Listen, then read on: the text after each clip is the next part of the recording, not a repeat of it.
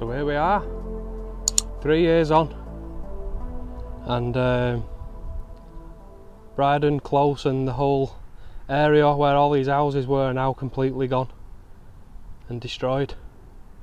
Um, there's just the remaining just over there in the distance you can see there's just one little row. And all that's left on the end is just one house. But if you remember rightly in the uh, the Forgotten Streets of Salford video that I did, all this here, these were just houses. Um, and we came here three years ago to document sort of the ending of the ending of the estate really. Um, it was heavily heavily involved this area with the riots which um, the video sort of documents um, and it ended up ultimately shortly after them riots these all these houses that were here pretty much got tinned up and they um, torn them down. But the reason why I came to film it wasn't just to sort of capture it on camera uh, before it went. It was back in the day back in its heyday um, it was a brilliant little community and you're going right back but the messages that I got and um, the video did brilliant. Like it got over 100,000 views I think on uh, Facebook. And then it got over about 10k I think on on YouTube. But I was overwhelmed with the amount of people that shared their memories of this place. And there was like parks on here and stuff. And it was a tight tight knit community.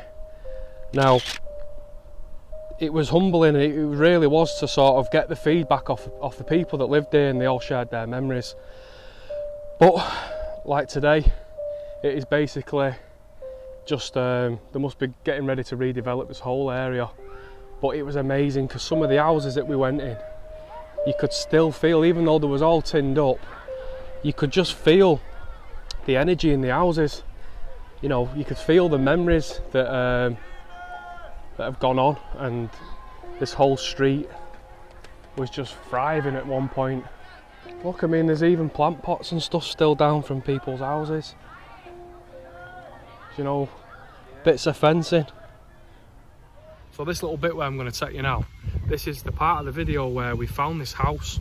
Now, obviously, it was everything was boarded up, but this one house, when we went into the back of the garden, it almost looked like it was still pretty well kept. And you could just tell that somebody, whoever owned the house, you know, they took a lot of pride and um, it just made you you could just imagine in my head I was getting like hearing like voices of like someone's nana and granddad that might have owned it you know uh, because all the all the houses that you could see it was weird it was like a ghost town so you could just imagine every little thing that would have gone on in them houses. And it was as if you could feel the energy around there still. It was absolutely crazy. But this little bit where I'll take you now I'll show you the exact spot where the garden used to be. Is it over here? where the house was, and that was a path to out there. where that conifer is. Oh yeah, yeah. I remember the trees. Yeah. So this is the path we walked down outside of the house, No way. and that's where the trees were. Wow. So that cat jumped out at you. Yeah. This was like the back garden then, wasn't it here? Yeah, the house ended here. And this Yeah, this was the garden. here. There was like a gate here, weren't there? Yeah. Popped my head round the corner because it was as if somebody still lives here, the garden. How does it feel? Feels like someone's still here. Let's have a look. So you've got all this sort of decaying, weather-beaten houses, and then look at this.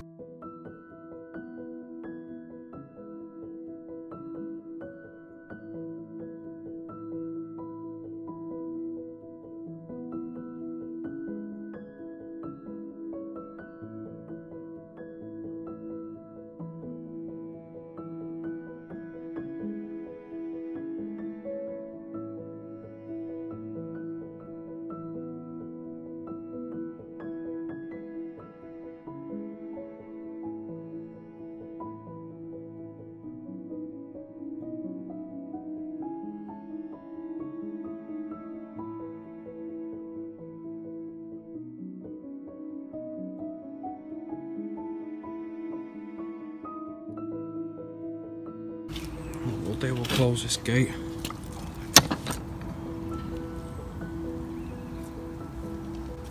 Do it a bit of justice, eh? Before they knock it down. It's just someone's uh, house, so you've got to respect it, you know what I mean? Crazy. Because this is where the ornamental trees was, look. The conifers at the bottom where the Yeah. cat jumped out at you. No way. This is that garden there. Look. Oh, no way. Oh, there's that tyre turned out into a plant. Yeah, that was in the garden, wasn't it? Yeah.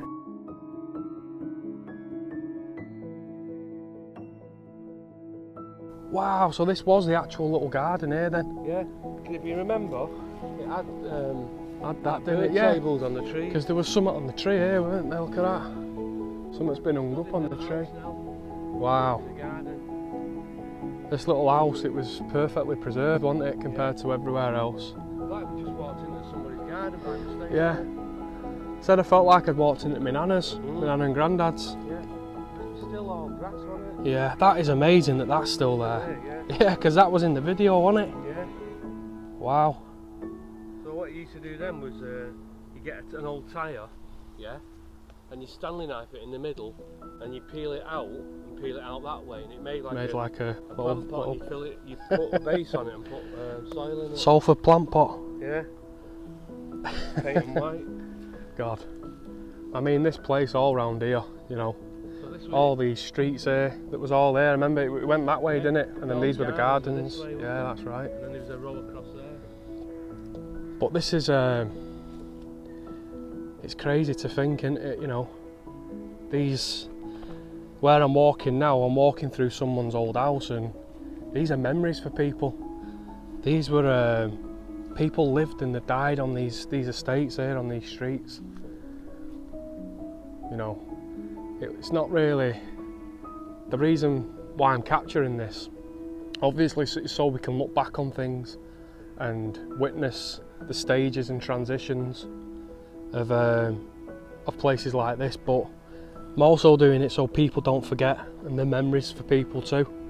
Because as much as it looks disastrous and it's basically just like scrubland in it now, it's still people's memories. People's live people lived there for 20, 30, 40 years maybe, you know.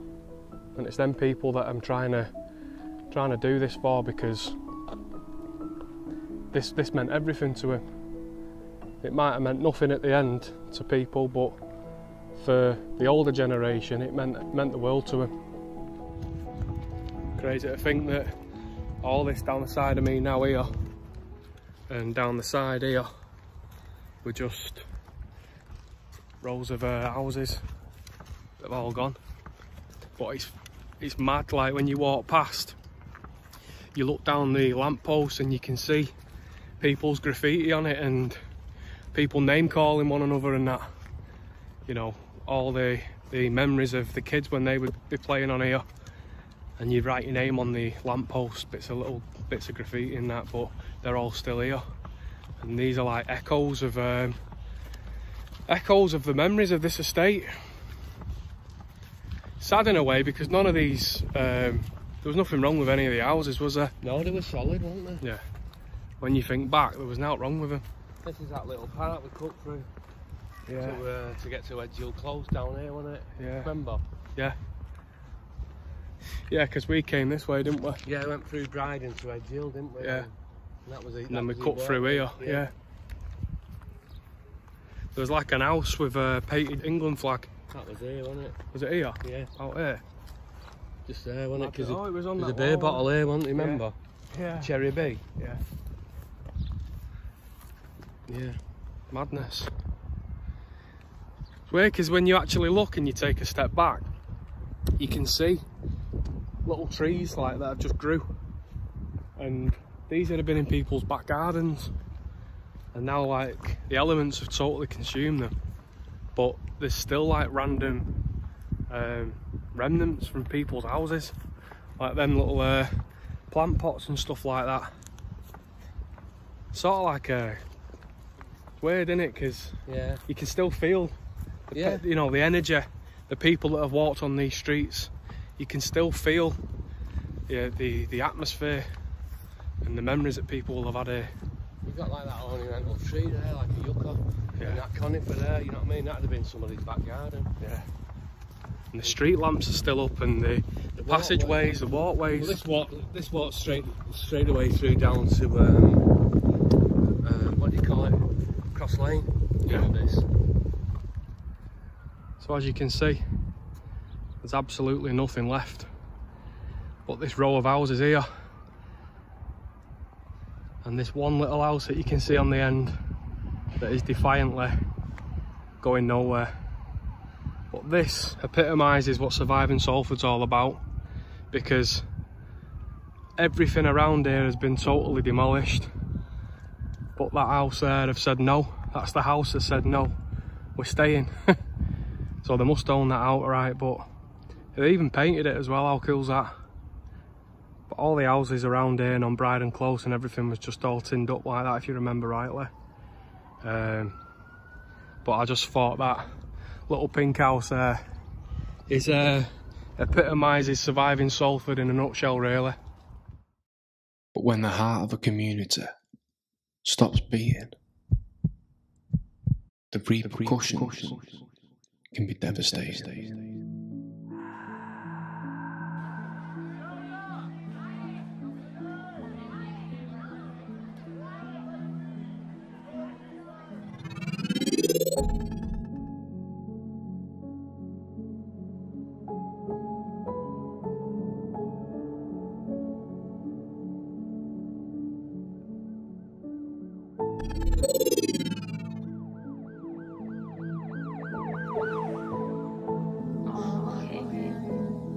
But he knows he shouldn't touch. Look, look. He knows he shouldn't touch the TV. And I'd rather shout at him than smack him. In a minute. You're terrific, Nick. Oh, don't be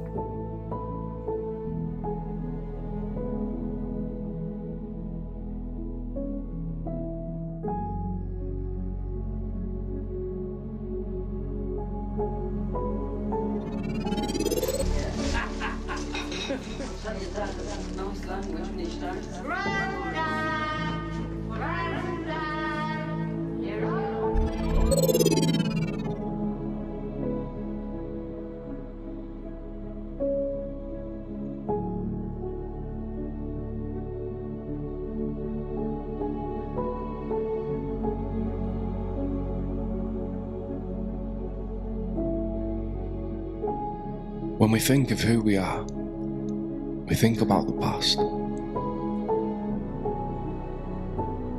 A series of events that we've experienced throughout our lives. And it's those events over the course of our life that made us who we are today.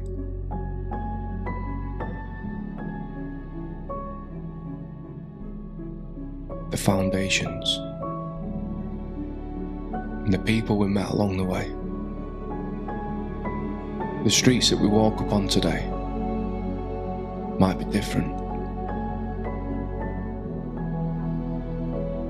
but the memories will never die.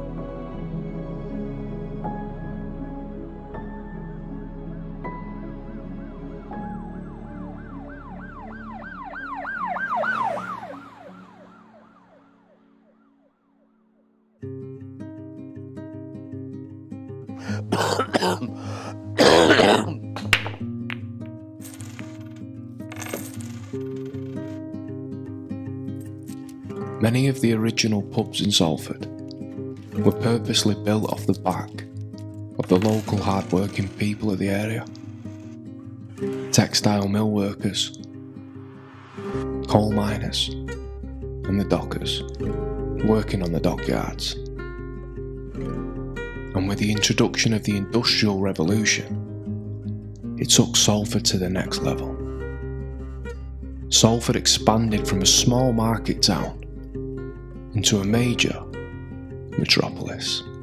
The factories replaced the old thatched cottages that once sat on the sleepy pathways, and the population soared from 12,000 people in 1824 to 70,000 people only 30 years later. Rows of back to back Victorian terraced houses and smoky chimney tops that chuffed away into the midnight sky set the landscape for a new era as the raindrops fell on the clog beaten cobbled streets of Salford. It almost sounds like the inspiration for a Lowry painting. I simply paint the people as I see. That's all there is to it. But times were changing, and the fast paced, hard working men and women that had slaved away in the intense heat of the factories, deafened by the sounds of the spinning looms that reverberated and echoed around the streets, were parched by the dryness of the environment and the strains of life. They needed a release, and the pubs were laid welcoming with open arms. Hey, here he is, my favourite customer. Usual, is it, George? Yeah, please, Harry. Chuck us a packet of pork scratchings in two, pal. a water and hole for the weary eyed worker. But these pubs were more than just places to drink. Friendships were built from the elderly to the young. Laughter, jokes, smiles, the backbone of communities. And when they close, there can be the demise of many. Salford was a hive for pubs. The Crescent, for example, an historic Grade 2 listed pub, built way back in 1860, where it's believed that Frederick Engels and Karl Marx once pulled up a seat next to each other and quaffed a few ales as they glared out the pub window and discussed the revolution and the theory of communism. To the ambient sound of the crackling, roaring fire behind them and the pattering of the rain as it tapped on the glass window. Now, it's heartbreakingly clinging onto the side of the crescent, built by the hands of a bygone era, but destroyed by the people.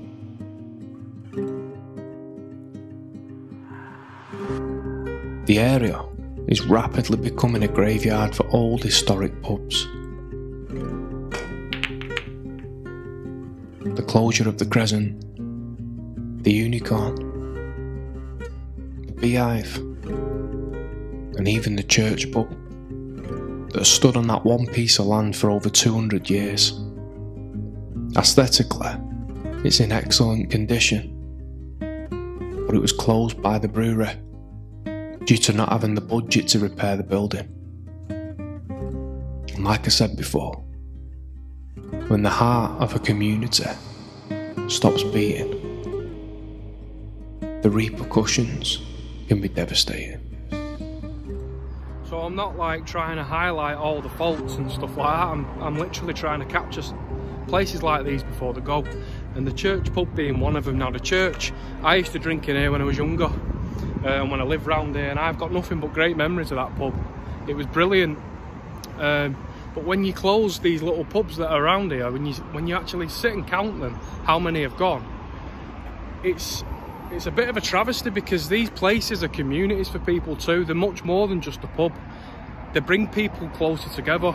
You've got people that are in their 80s having drinks with people in the 20s and there's just constantly banter going on and, and there's stuff like that and you just think when they close stuff like this, you know, it, it sort of rips the art out of the community.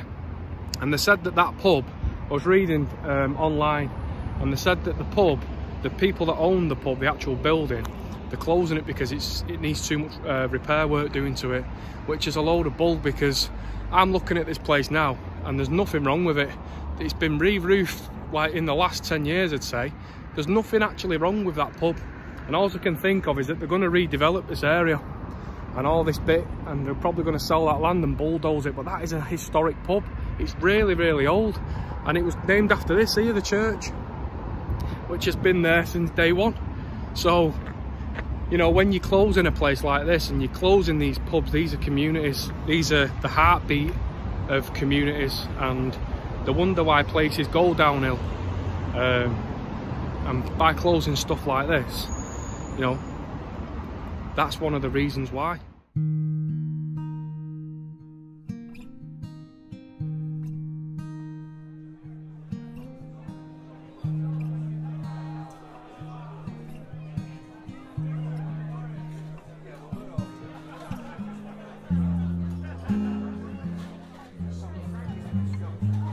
Gradual decline of your traditional, old school pub is now sadly becoming a thing of the past.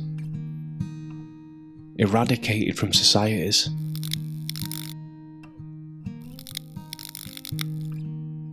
Without taking any care or consideration of what these places meant to the people of the area.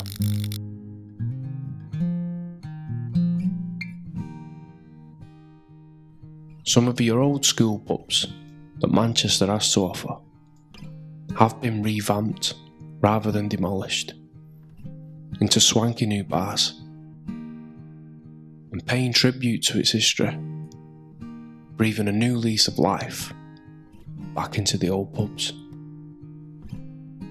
But sadly, the powers that be seem to think that Salford would be a better place without them.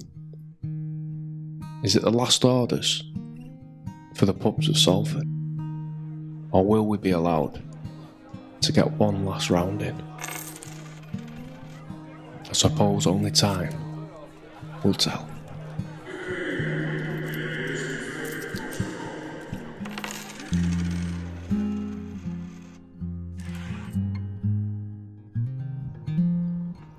So I'm on the other side of Salford now, and I'm in Clifton. And this part of Clifton's a bit of a blind spot, I'd say. Um, but I've come here for two reasons. One, I've come to highlight these houses here. Now these houses have stood the test of time and they've been refaced. Um, but originally, they was um, the houses of the miners that worked locally. So all the all the miners that worked down the mines and um, in the local collieries, they actually all lived in them houses with their families. So it's, it's mad to think that they're still up after all them years. Uh, but like I say, I'm here for two reasons. One for that, and one of them is just behind me in them woods. So this wouldn't be a surviving Salford video if there wasn't a little hidden gem thrown in there, would it? Now, where I am at the minute in Clifton, I'm sort of scouring around in the woods. Um, but this this area where I am it never used to be the woods um, this was home to something that has been lay forgotten for going on 50 odd years now 50 plus years. And um, like as you can see the elements have totally took over here. Um, and what actually was here is unrecognizable you would never know. Um, but this is the actual site of a little old train station that has been forgotten and abandoned like I say, for going on 50, about 54 years now. So basically, it's my mission to revive it, to present it to you, and show you the remnants of the little lost station of Clifton Junction.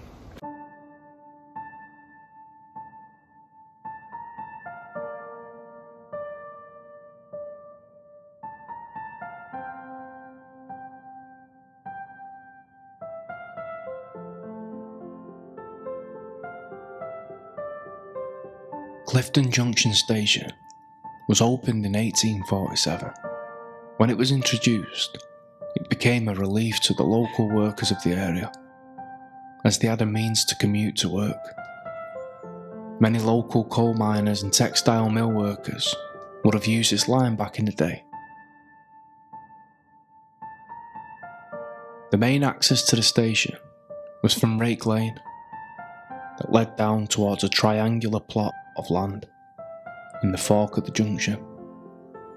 It provided many useful commutes, including a journey that would take you over the iconic 13 Arches. Over the span of its life, the station made the papers on a number of occasions, and one being the heroic story of James O'Connor, a pointsman who worked at the station and back on the 22nd of August 1877, James was presented with £5 by the directors of the Lancashire and Yorkshire Railway Company as recognition for his presence of mind in preventing what could only be described as a catastrophic collision that would have surely killed everybody on board. A train from Chatburn to Manchester was parked up and stationed at Clifton Junction, but accidentally on the same line leaving Salford was the Berwick and Bacup Express, and it was flying down the tracks at top speed. Packed to the rafters with passengers, inevitably destined for a head on collision with the parked up train at the station.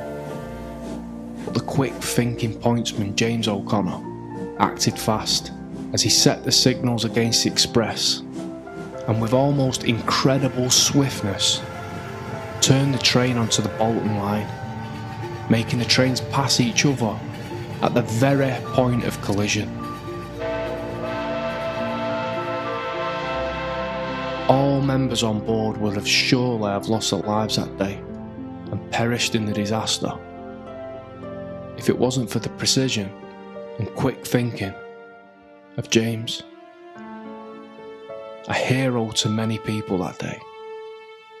But James's act of heroism has sadly been forgotten in the chapters of our past until now.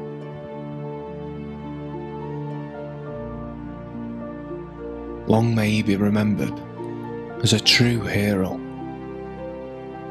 may his story and the lives that he saved never be forgotten.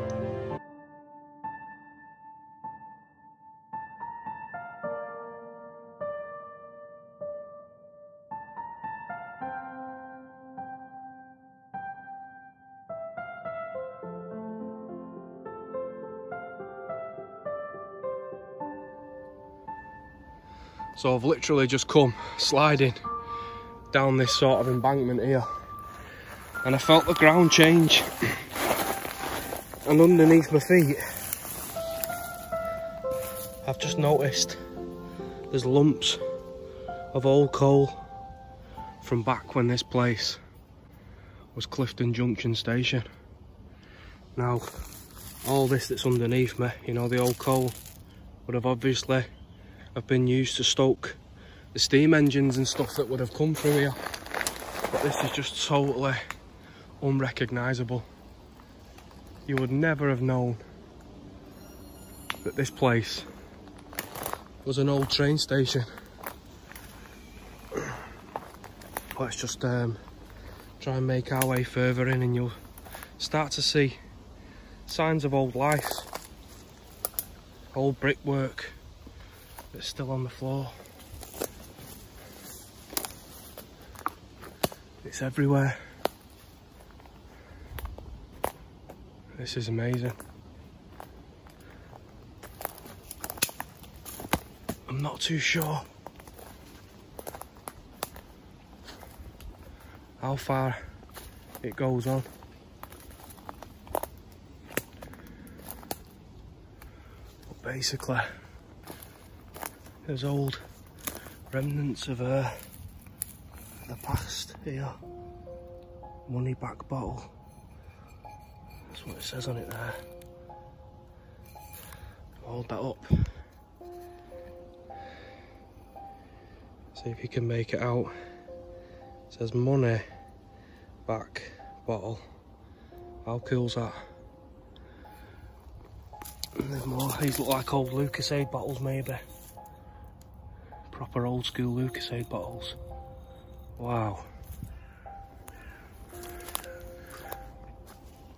Now somewhere hidden in here, I do believe there's a subway, an old subway that used to run underneath the train line.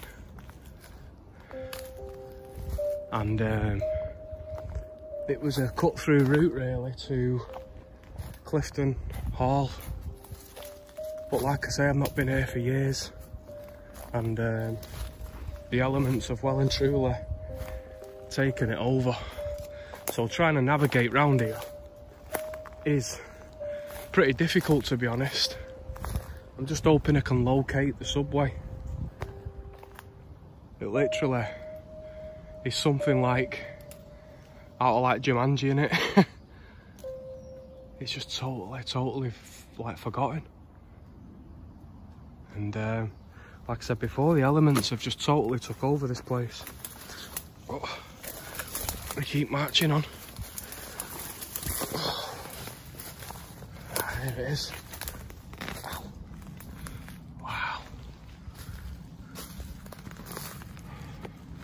Ow.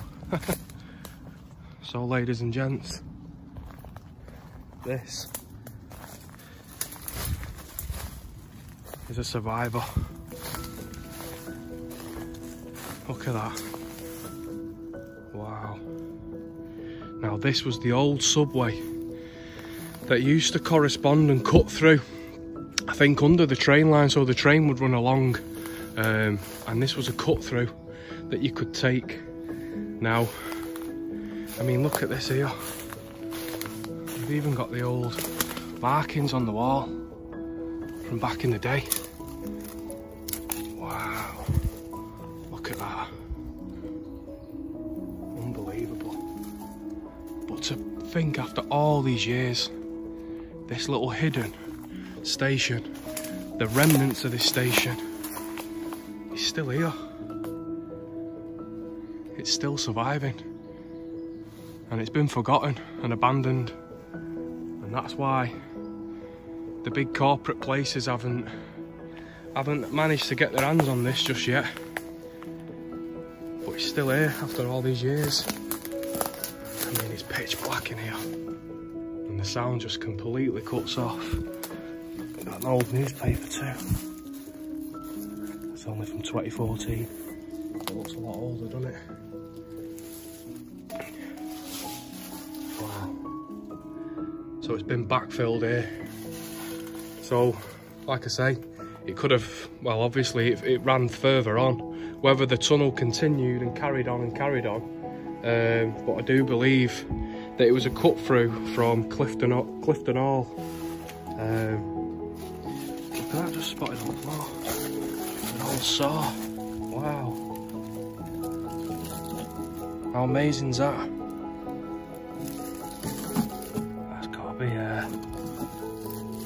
A good 50 year old or something, hasn't it? Could have been the old platform controllers in his uh, his little maintenance room, doing a bit of touch ups while he's waiting for trains and that to pass the time. Incredible, innit? Bits of old pipe work, old bottles, old bricks. These would have been the original bricks from the um, from when this was built, from the station. Just look at that, isn't it amazing? Look at the little like beveled arch ceiling. Can you just imagine some of the conversations that would have gone on in here? You know, people probably having a little cig, waiting for the train, huddled under here. Absolutely, you know, it could have been freezing, it could have been raining, and they were just seeking a bit of refuge while they were waiting for the train. It's unbelievable, and it's still standing. You know, 50 plus years. I'm sure there's some of you must have remembered this station being open. So if you do, like I said before, drop a comment below um, and tell me what you remember of it. But I'm just surprised at how much is still here. You know, these are the, this is the reason why I'm highlighting these things because it's things like this. A little lost train station um, hidden in the woods. That is an absolute pearl. It's a gem and it's a piece of history that has dug its heels in defiantly and it's still standing after all these years. How incredible is that? And nature's tried to reclaim it all back and it's done a pretty good job to be honest because it's I was struggling to find it myself um, but it blows my mind it actually blows my mind you know the people that constructed that the people that laid them bricks. Maybe I think too deep into it. I'm sure I do. But the hands that built them and the hands that placed the stone them them you know the people that did that are long gone now. But their work is still here. And it blows my mind. And long may it rain. So this subway here actually ran under the line. Um, so in theory across here this should be the platform um, you should be able to see the platforms at either side but like I say in the middle here now it looks like it's just totally totally overgrown so we'll try our best to see if we can make it out right so where I am now is I'm directly above the subway so the tunnel cut through the subway is right directly below my feet. And um, this here, this is one side of the platform. And if I just set you over here, this is the other side of the platform. So basically, we're actually on the track right now of what would have been Clifton Junction Station. Amazing. I mean, it's it's crazy to, to actually see when you actually dig, oh, when you dig a bit deeper, you start finding remnants that are still here from all those years ago. Look at that. It's even got the original paintwork on it from back in the day. These are like relics from the past that have just been left since the day it closed in 1966. All that time it's just been sat here like a sleeping giant and you come to somewhere like this years and years on and you know the, the the sort of relics of the past are still scattered about all over the floor still and they might be covered they might be covered in um, in moss and stuff like that and and the plants and the flowers have grew over them but they're still here. And to think how busy it must have been a busy station at one point in time you know. For it to warrant an actual station it must have been pivotal to the area and I bet it was used for possibly like the miners and stuff like that maybe going from area to area jobs. You know it must have been used for commuters um, possibly could have even been used for like you know cargo over the years maybe you know but like I said before if you remember this station being open or you remember anything about it just drop a comment below. I'd be fascinated to know, know your memories. So I've just stopped to have a bit of a look at my footage and uh, sort of stood here in silence. And it almost, it's got a weird feeling because it almost feels like this place should be bustling. And you can, in the sort of in your mind's eye, you can imagine this was a place that was so so busy. And all of a sudden it's not and it's sort of ghostly if you know what I mean. Um, it's pretty pretty strange because there's obviously signs of that there was life here 50 plus years ago.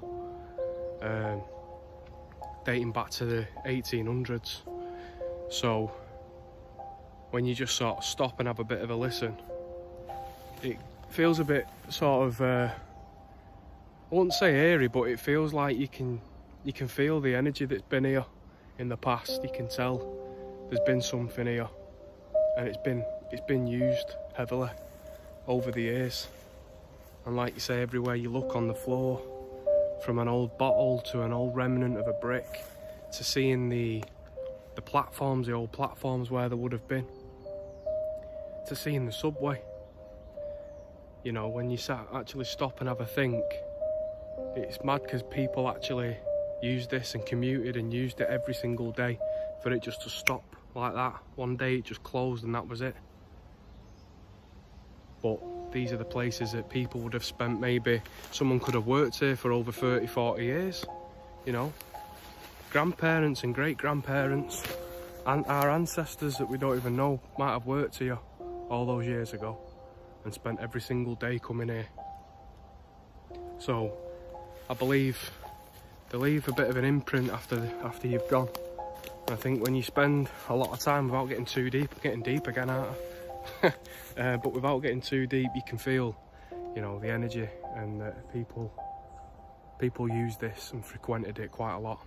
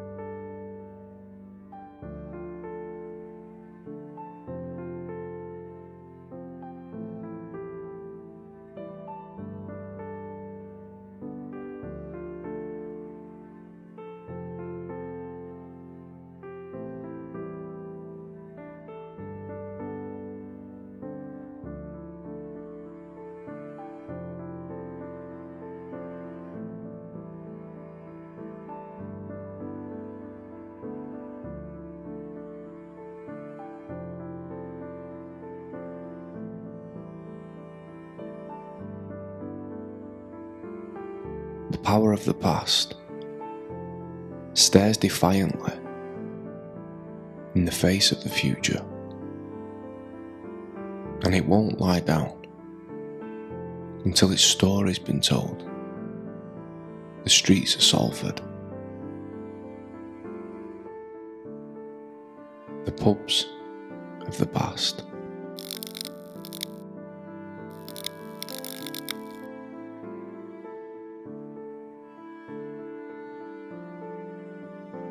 Even the crumbling remnants of old train stations. I've just noticed there's lumps of old coal from back when this place was Clifton Junction Station. They've been protected by nature. Protected, hidden out of sight from the wrecking ball that inevitably awaits them. From the unsung heroes whose courage and bravery have been lost in the chapters of time. to the friendships we've built throughout our lives, to our loved ones.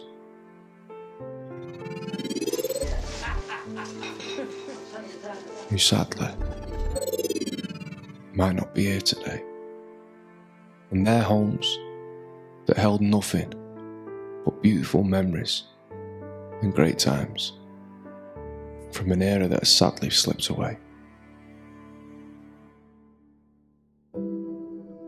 So the next time that you see a remnant of the past, spare a thought for what it once stood for. This, I've just found here. Peeking through the ground seems to be the old train line. Wow. How amazing is that? It would have prob you know, ran all the way through here at one point. Unbelievable. That's an absolute little gem that of a find. Because its story might just mean a lot more than what the initial eye perceives. Because they're surviving. They are surviving. Salford.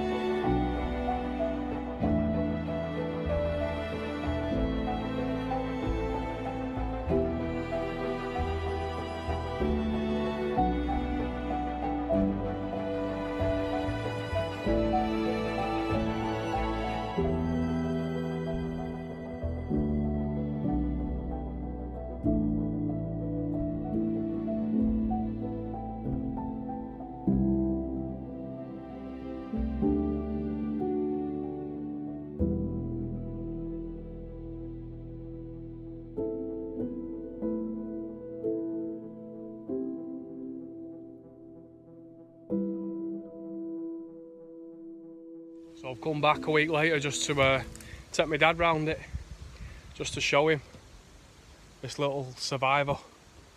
Uh, but we just stopped for a quick brew. And as usual, my dad's pulled out the ace here with a blinder, Morrison's finest. Not heard that for a bit, have we? yeah, I brought my own cup. Have you not got another cup for it now? No, I haven't got spare. Yeah. I'll put some in that. Hey? Under your bag was heavy. Go on. Cheers. Calls it, but he wants it.